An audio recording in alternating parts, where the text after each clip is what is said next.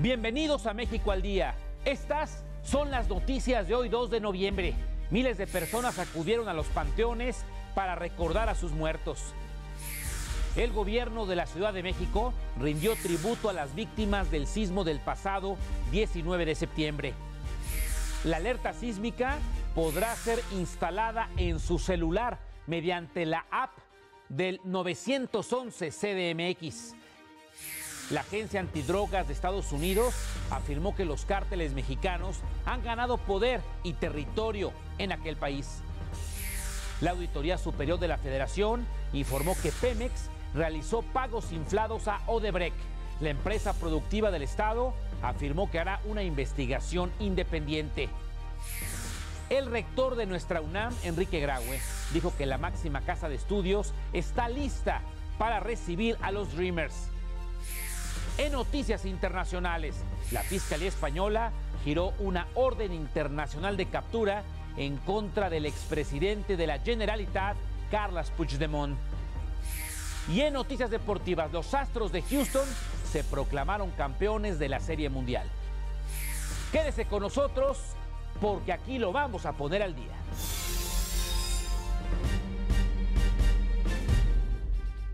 ¿Qué tal? Muy buenas tardes, noches. Mi nombre es Gustavo Rentería y les saludo con el gusto de siempre.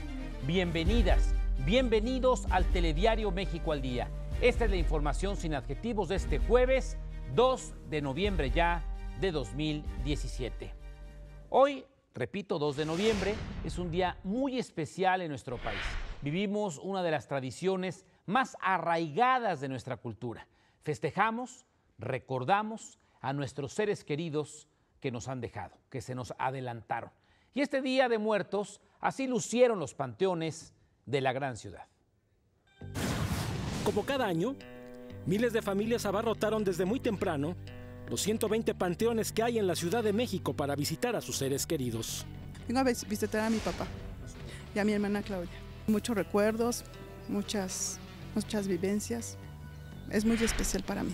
Lo que pasa que yo creo que depende de cada ser humano, ¿no? A cómo lo tomemos. Eh, con mi mamá, con mis hermanos. Las tumbas lucían diferentes a otros días, adornadas con flores multicolores, sobresaliendo el cempasúchil, las rosas, claveles, pero sobre todo la música, que no podía faltar en el lugar.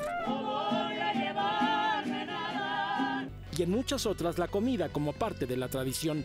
Vengo con mi papá, con mi cuñada, mi hermano, eh, mi sobrina, mi pareja y eh, venimos a... Bueno, pues prácticamente es el primer año que venimos porque, bueno, mamá tiene, tiene un año apenas, recordándola y pues siguiendo las tradiciones que ella nos inculcó. Venimos a ver a mi mamá y a mi abuelita que se encuentran en este panteón. Venimos a verlos, a darles una vuelta, lo que representa el Día de Muertos. Con mi familia, que viene aquí a acompañarnos a todos. Nosotros venimos año tras año. Doña Carmen acudió sola para limpiar y llevar flores a la tumba de su madre y demás familiares. Vengo a ver a mi madre, a mi abuelita, a mi hermana, a mi tía, a mi otra tía. Están en el mismo lugar. Yo vengo siempre el día de su santo, el día de los muertos y pues cuando venía con mi hermana, pero ahora ya no puede y ahora yo sola. Con motivo de estas festividades, la Secretaría de Seguridad Pública de la Ciudad de México puso en marcha un operativo en todos los panteones para garantizar la seguridad de aproximadamente millón y medio de visitantes. En México cada pueblo, cada región tienen sus propias tradiciones, sus propios usos y costumbres. Pero si hay una tradición arraigada en cada uno de ellos, es precisamente en el Día de Muertos. Con imágenes de César Díaz, Gilberto Rodríguez Monroy, reportero. México al día. Es verdad, Gilberto, cada quien por regiones, por zonas geográficas, tienen sus usos, sus costumbres, sus tradiciones, pero en todo el planeta eh, se sorprenden de nuestra cultura, de este eh, esquema tan arraigado que tenemos desde hace muchísimos años de recordar a nuestros muertos. Hay en algunos sitios del mundo que no se habla del tema, que no eh, se permite hablar de los que ya no están aquí. Inspectores de la Procuraduría Federal del Consumidor realizan desde ayer un operativo de vigilancia prácticamente en todo el país para evitar abusos a los consumidores en este día tan especial. Han recorrido Camposantos, mercados, florerías, panaderías, empresas de servicios funerarios, osarios y establecimientos de venta de lápidas. Hasta este momento, el saldo ha sido blanco con algunos, claro, apercibimientos por precios altos. En el zócalo de la gran ciudad, el jefe de gobierno, el doctor Mancera, rindió un homenaje a las personas que perdieron la vida por el sismo del 19 de septiembre. Acompañado por su gabinete, colocó un ramo de flores sobre un tapete de acerrín o serrín, donde se escribió 19S. Posteriormente, se guardó un minuto de silencio. Y así continuaron las celebraciones por el Día de Muertos en el corazón de la gran ciudad. El centro histórico de la Ciudad de México se vistió de cempasúchil, colores e incienso para honrar a los fieles difuntos.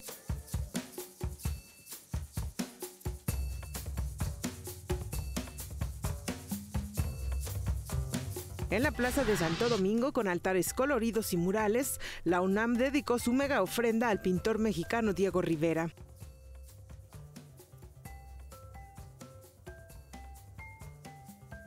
Realizadas por estudiantes de la máxima casa de estudios, los altares plasmaron su agradecimiento a los rescatistas del 19 de septiembre.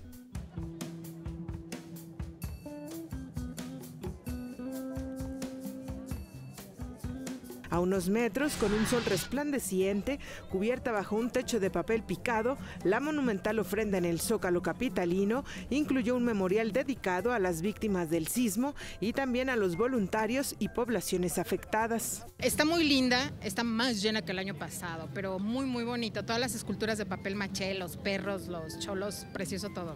Esta ofrenda monumental se dividió en las tradicionales con elementos como las flores, el pan de muerto, la bebida, la comida y las veladoras.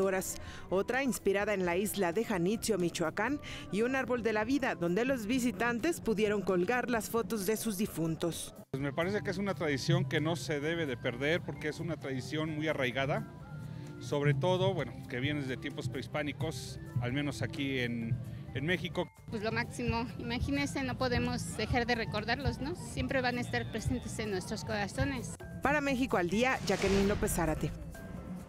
Ya que muchas gracias, desde muy temprano cientos de personas acudieron a los edificios colapsados el pasado 19 de septiembre para instalar ofrendas en memoria de quienes perdieron la vida. En las inmediaciones, por ejemplo, del Colegio Repsamen, en Chimalpopoca, fueron colocadas fotos, fotografías, veladoras, flores de cempasúchitl, comida y principalmente juguetes y dulces. Asimismo, en Álvaro Obregón 286 se formó una cruz con veladoras y flores, mientras que en un multifamiliar de Tlalpan se colocó, corrijo, una ofrenda al tiempo que los familiares leían poemas y cantaban anécdotas de sus seres queridos. Esta celebración también se lleva a cabo en otras entidades del país.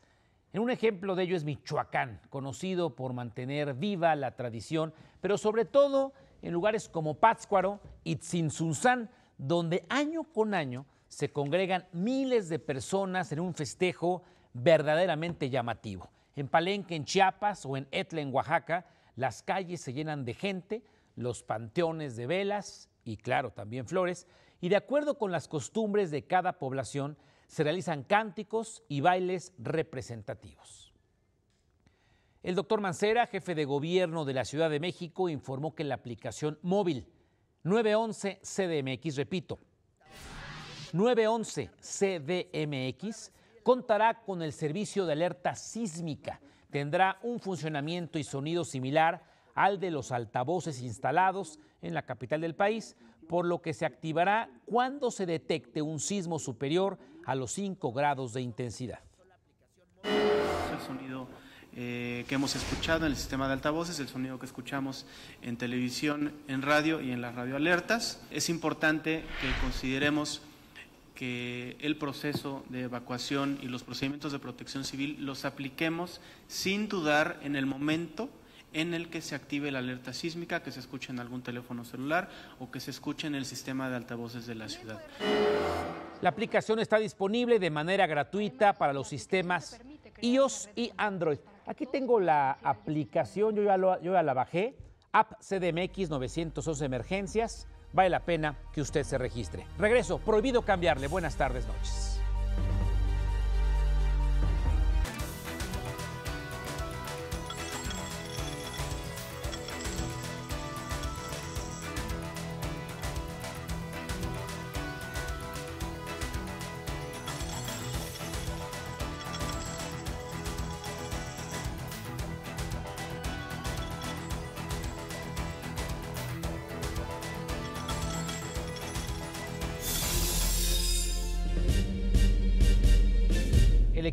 De este telediario realizó un recorrido por la ciudad de Tasco, en Guerrero.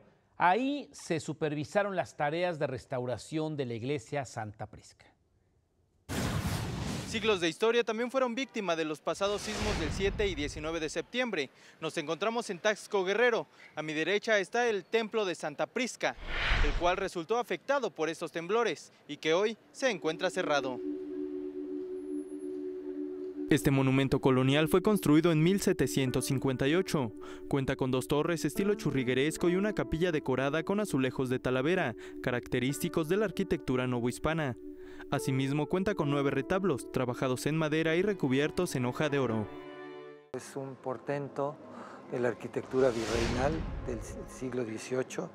Es una caja que resguarda un tesoro eh, artístico de incalculable valor. Esta joya arquitectónica es uno de los 93 inmuebles históricos dañados en Guerrero por los pasados sismos. Fundamentalmente grietas, fracturas en algunos de los elementos arquitectónicos. Los más importantes en las bóvedas y en las cúpulas. Los daños no se observan a simple vista. Sin embargo, con el apoyo de tecnología de punta, expertos del Instituto Nacional de Antropología e Historia obtuvieron más de 20.000 imágenes aéreas y terrestres del inmueble para crear un modelo tridimensional del templo. Ello permitió detectar 80 metros lineales de grietas y fisuras, mismas que ya están siendo reparadas desde el pasado 25 de septiembre. Según cálculos de Lina, la restauración de este patrimonio cultural e histórico dañado tendrá un costo estimado de 8.5 millones de pesos. Esos 8,5 millones de pesos creemos que los vamos a poder obtener del seguro que Lina contrata año con año para proteger y darle cubrimiento a todo el acervo de patrimonio arqueológico histórico de nuestro país. Con imágenes de Marco Antonio Orozco, Antonio López, reportero, México al día. Toño, muchas gracias. Esta mañana se abrió un socavón en el kilómetro 89 de la carretera Ciguatanejo-Acapulco con dirección al puerto de Guerrero. De acuerdo con la Policía Federal, se trata de un agujero de dos metros de diámetro aproximadamente y cinco de profundidad. Fue reportado desde las 7 de la mañana y no tardó mucho en ser acordonado por protección civil para evitar accidentes.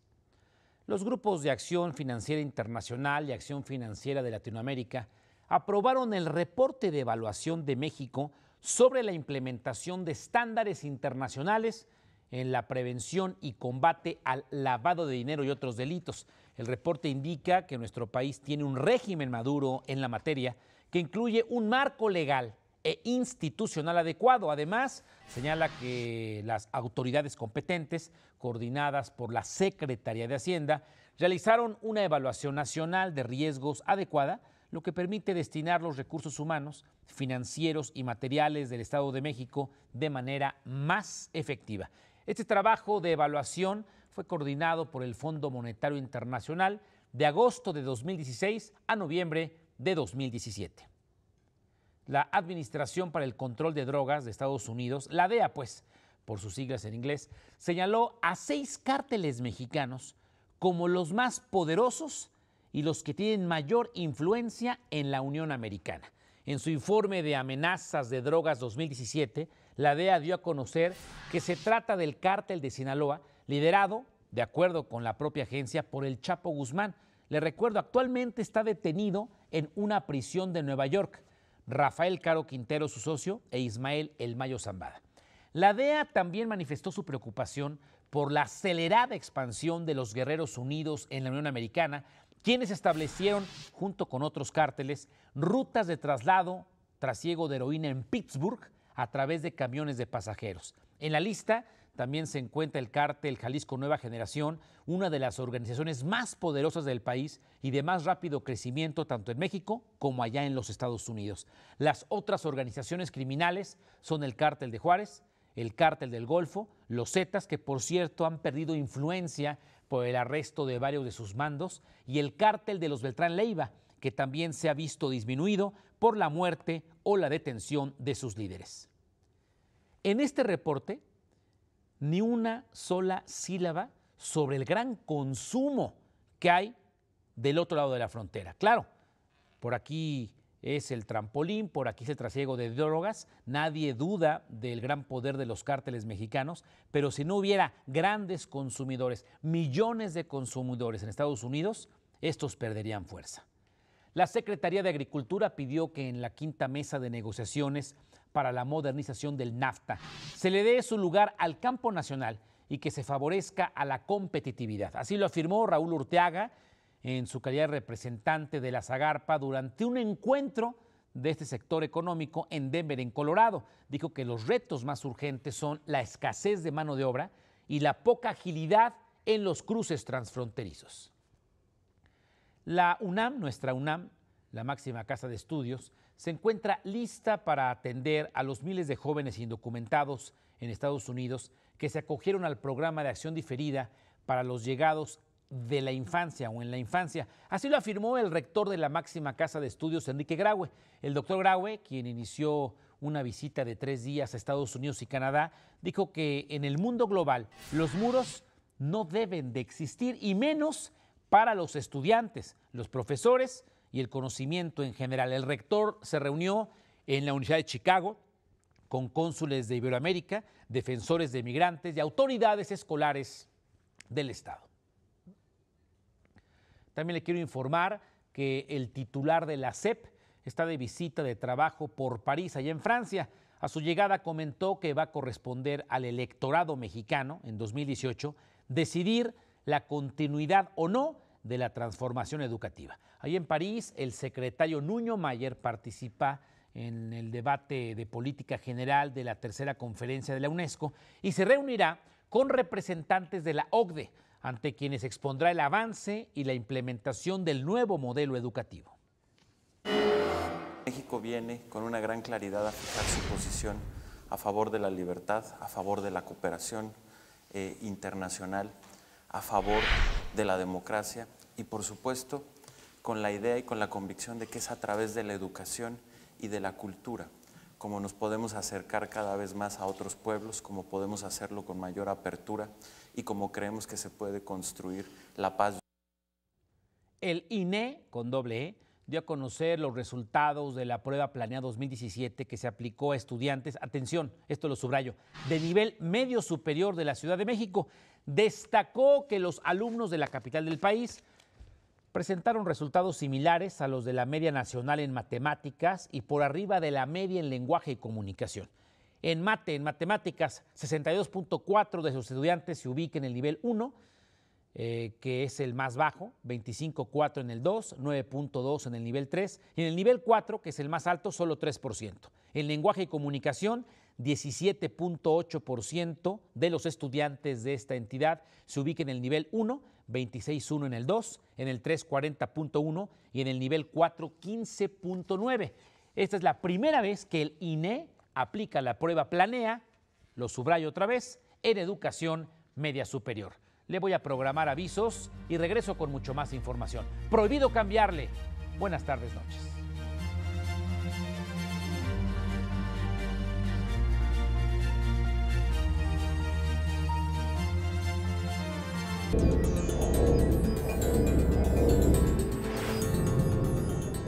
España, la jueza de la Audiencia Nacional de Madrid, Carmen Lamela, decretó este jueves prisión incondicional sin fianza para ocho miembros destituidos del gobierno de Cataluña por su apoyo al proceso independentista, mientras que al exconsejero de la Generalitat, Santi Vila, también se le dictó prisión, pero con derecho a una fianza, escuche usted, de 50 mil euros. Mientras tanto, la magistrada Carmen Lamela emitió una orden internacional de captura en contra del expresidente de la Generalitat, Carles Puigdemont. después de que no se presentara a declarar tal y como lo había anunciado.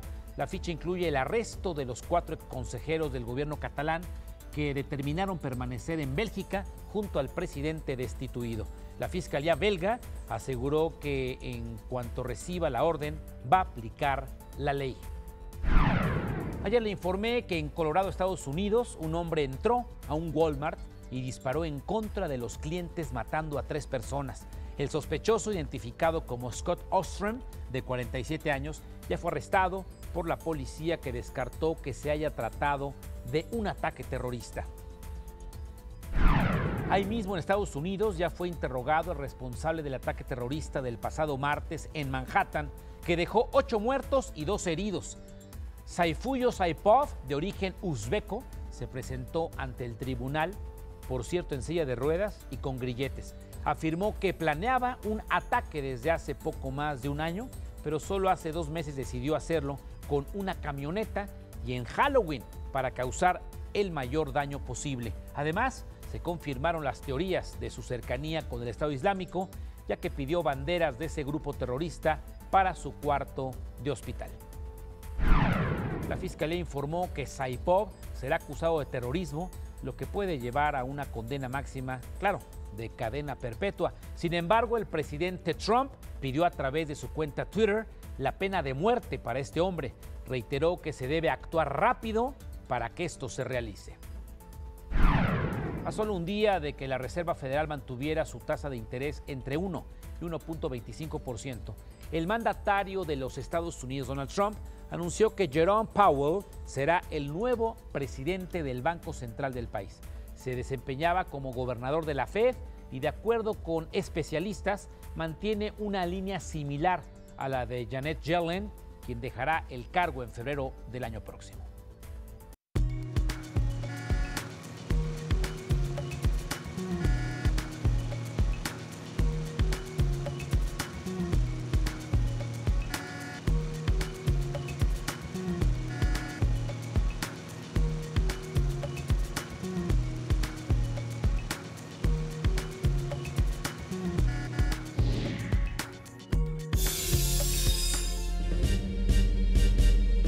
Se acerca el buen fin y con esto algunos riesgos para la población. Por ello, el INAI publicó una serie de recomendaciones para proteger los datos personales de los consumidores, principalmente cuando se trata de una compra online, en línea.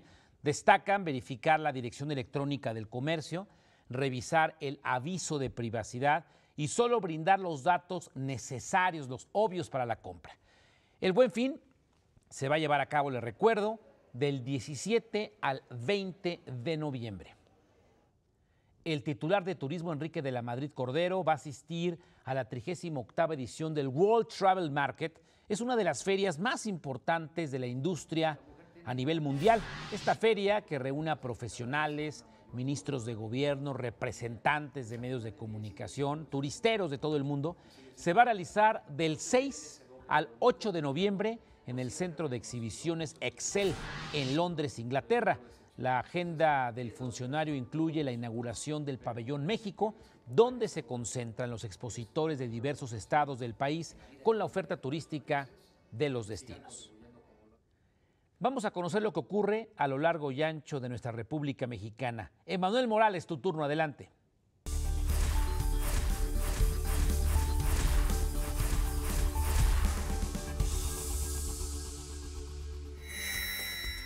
En Oaxaca, 42 presuntos normalistas fueron detenidos durante unos minutos por elementos de la Policía Federal luego de que robaron productos de camiones repartidores en Ochixtlán.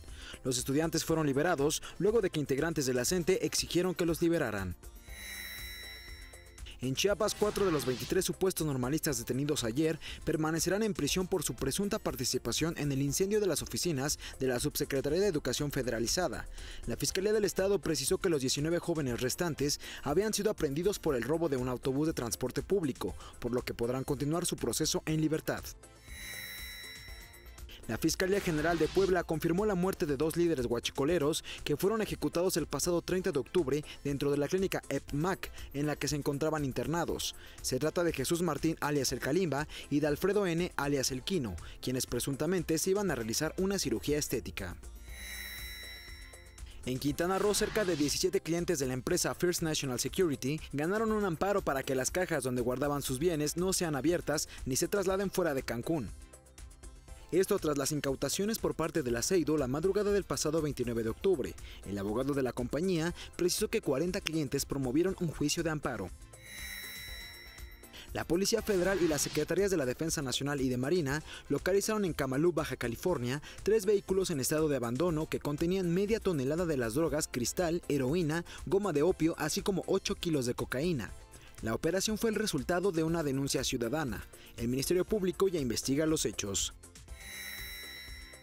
La diputada de Zacatecas por el Partido Encuentro Social, Iris Aguirre, entregó mallas metálicas a los habitantes del municipio de Valparaíso para prevenir los abusos sexuales a menores de edad. Usuarios en redes sociales criticaron a la funcionaria debido a que consideraron que las mallas no solucionarían el problema. Iris Aguirre ya había estado en medio de la polémica, pues el año pasado fue apodada Lady Trump por apoyar la deportación masiva de migrantes de Estados Unidos. Emanuel, muchas gracias. La Auditoría Superior de la Federación ayer me platicaba al finalizar el telediario. Detectó pagos irregulares. Escuche usted, por más de 1.250 millones de pesos. 1.250 millones de pesos a la empresa brasileña Odebrecht, lo que derivó en sobreprecios en el mantenimiento y conversión de residuales en las refinerías de Tula, Hidalgo y Salamanca, Guanajuato. Pemex ha informado que va a atender dentro del plazo concedido las observaciones hechas por la Auditoría Superior de la Federación. Dijo que desde que tuvo conocimiento de los resultados de las investigaciones a Odebrecht en México, Pemex ha colaborado estrechamente con la Unidad de Responsabilidades de la Secretaría de la Función Pública y también de la Procuraduría General de la República. Lo que queremos conocer es quiénes fueron los que permitieron o se beneficiaron con estos sobreprecios. Ya lo conoceremos porque hay una eh, investigación abierta al interior de la PGR y claro, también en la función pública. El Instituto Federal de Telecomunicaciones, el IFT, el IFETEL pues, dio a conocer las tarifas de interconexión que van a pagar las empresas América Móvil de Grupo Carso del señor Slim. Las nuevas tarifas que aprobó el Pleno del IFT entrarán en vigor a partir del primero de enero de 2018. Esta decisión se da después de que el organismo sometió el modelo de costos que utilizó para determinar la tarifa de interconexión a un proceso de consulta pública desde finales de 2016. Las nuevas tarifas que la competencia pagará a América Móvil, ya le digo, de Grupo Carso, del señor Slim, se dan luego de que Telcel ganó un amparo que determinó que las tarifas las debe decidir el IFT. Lo que queremos es que a partir del primero del 2018, todas las telefónicas, a excepción de Telcel, no suban de precio. Si hay una eh, reforma que nos ha beneficiado a la mayoría de los mexicanos, es sin duda las telecomunicaciones. Así es de que ojalá no se excedan con los precios las telefónicas. El Museo Nacional de Culturas Populares en Coyoacán cumple 23 años consecutivos de celebrar el Día de Muertos y lo hace abriendo sus puertas al público en general, ofreciendo comida, ofrendas, exposiciones y actividades culturales que acercan a las personas con la tradición gastronómica y espiritual de nuestro país. Somos un pueblo privilegiado, tenemos unas tradiciones increíbles entonces, eh, todos eh, nuestros ancestros nos dejaron esto y ahorita que todavía podemos disfrutarlo, hay que hacerlo. A mí me gusta mucho el pan de muerto, el mole, la calabaza en tacha. Por supuesto, personas extranjeras también se dan cita y disfrutan de lo que ofrece la capital del país en estos días. Llegamos ayer desde Italia y encontramos esta fiesta y me gusta mucho. Y en, Italia empezamos a hacer lo mismo también nosotros, porque gusta más que Halloween y estamos disfrutando aquí en Ciudad de México hoy. Si tú pudieras festejar el Día de Muertos así como en México, en Italia, ¿qué personas pondrías en tu ofrenda? Eh, por supuesto, mis abuelos. Es una tradición, la de México, la de Día de Muertos, créame que impresionante, conocida en todo el planeta. Hay un lugar que es eh, inspiración para muchos en todo el mundo. Me refiero a Mixquic, en la delegación Tláhuac, donde se decoran las tumbas de manera impresionante. Como año tras año, cientos de personas acuden a este panteón. Le voy a programar avisos. Antes le recuerdo que estamos transmitiendo a través de la aplicación Facebook Live. Le vamos a agradecer un like en Televisión Educativa MX y en Periodista Gustavo Rentería. Síganos en Twitter, arroba Gustavo Rentería. Información gratuita, arroba Mexaldía. Prohibido cambiarle. Buenas tardes, noches. Volveré.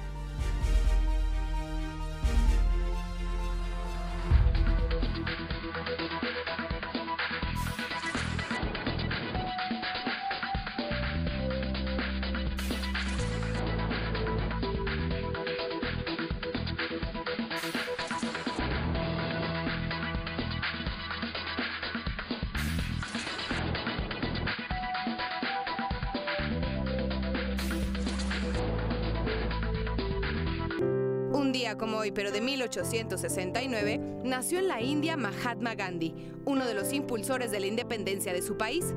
Su sueño era conseguir una India unida tras la salida de los británicos. Trató de minimizar las diferencias entre musulmanes e hindúes, insistiendo siempre que ambos podían coexistir en el mismo país. Gandhi sigue siendo un modelo para la solución pacífica de conflictos y la búsqueda de fórmulas de negociación y compromiso en lugar de la violencia. Gaby Díaz Mercado con la efeméride del día de hoy. César Meléndez, saludo con mucho afecto. Les recuerdo que es una producción de nuestro canal hermano, el Canal 22. Buenas noches amigos de México al día, les comento que El arte de Coco, la película de Disney Pixar que ha tenido un rotundo éxito en su primera semana en cines nacionales, llega a la Cineteca Nacional y además una sorpresa, una exposición sobre Walt Disney. Sé testigo de un viaje de amistad, magia y creatividad en la exposición México y Walt Disney un encuentro mágico. Conoce los detalles del impacto que tuvo México en la obra de Walt Disney y su legado que ya es parte de nosotros. Cuando empezamos a trabajar con los realizadores de Coco, hace justo seis años, que fue la primera vez que ellos vinieron a México, eh, empezamos a relacionar el proceso de investigación para lograr una película animada. En el transcurso de esta investigación, los cineastas encontraron rastros de la relación de Walt Disney con México y así fue como surgió la idea de hacer una revisión en forma de muestra museográfica de esta relación. Decidimos que era un momento ideal para que la gente a nivel familiar, a nivel transgeneracional, pudiera conocer la obra de México en el impacto del legado de Walt Disney. Dentro de la, la, exposición ustedes van a poder ver una foto que data de los años 20, del principio de los años 20 también, uh -huh. cuando Disney de luna de miel viene a la Rumorosa. Eh, y viene junto con su esposa re, recién casados, viene con su mamá también, con su hermano Roy, con su cuñada, y esa es la primera visita que Disney realiza a México y lo hace también eh, manejando.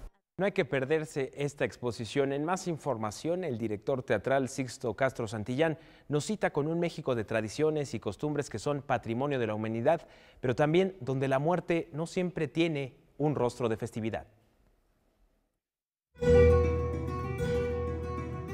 Todos Santos es una obra sobre la identidad, la pérdida, la migración y las condiciones de las mujeres indígenas. Así te conocí, así me enamoré.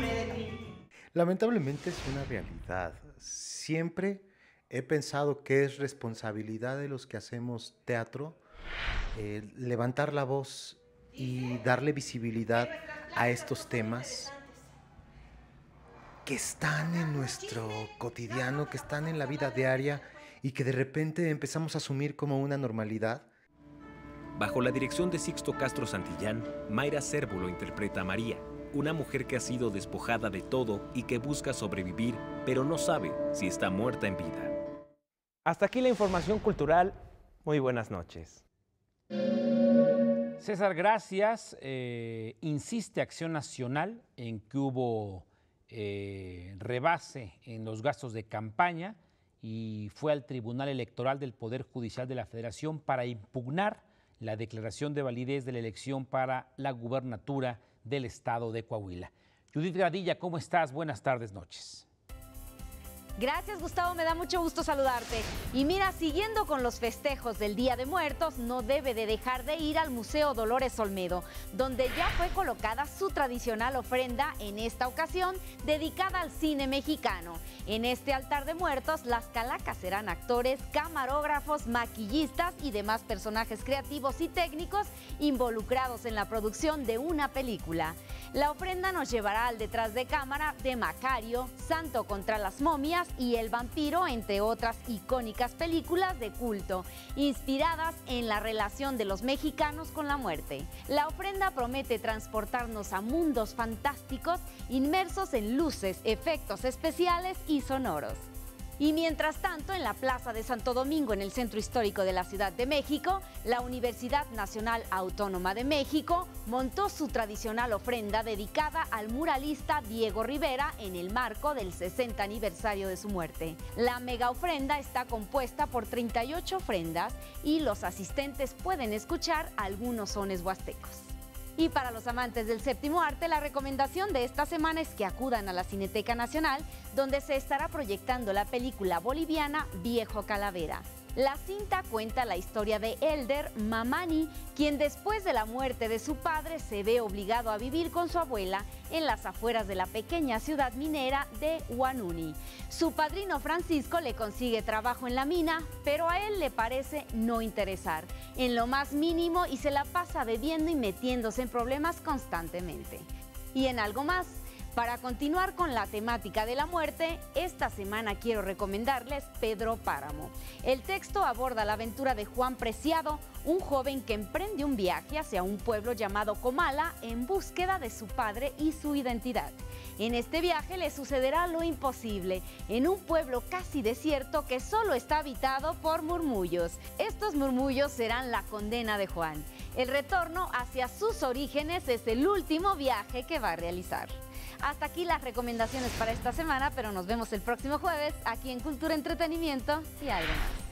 Gracias Jorge, hasta mañana. Telefónica y ATT están criticando la nueva tarifa para Telcel. Tendrán que pagar tres centavitos por cada minuto. Dicen que esto pues arruina su plan de negocio en México. En México al día es momento de hacer un repaso de los hechos más importantes ocurridos aquí y en todo el planeta, informa Rodrigo Muñoz. El titular de la CEP, Aurelio Nuño, afirmó que corresponderá al electorado en 2018 decidir la continuidad de la transformación educativa. El jefe de gobierno de la Ciudad de México encabezó el homenaje a las víctimas del sismo del pasado 19 de septiembre. La DEA advirtió sobre el crecimiento de los cárteles mexicanos en Estados Unidos, entre ellos Guerreros Unidos. Fuerzas federales aseguraron más de media tonelada de droga sintética en Baja California. En el mundo, la Fiscalía de España dictó prisión incondicional sin fianza para ocho miembros destituidos del gobierno de Cataluña por su apoyo al proceso independentista.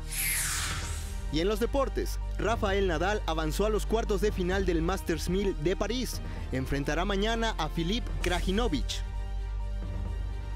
Usted ya está enterado y sin adjetivos a nombre de este ejército informativo y técnico que no se ve en la tele, pero bien que chambea, créamelo, de verdad, gracias por su sintonía. Mañana tempranito Pati y Omar y en punto de las 2.30 de la tarde lo espera mi compañero y amigo Enrique Lascano. Nos tenemos una cita mañana, será noche de viernes afortunadamente, en punto de las 9.21 horas, tiempo del centro de la República Mexicana. Yo le quiero recordar que mi nombre es Gustavo Rentería y lo invito como siempre a que juntos, juntos hagamos mejores noticias para un mejor México. Pásenla bien, adiós.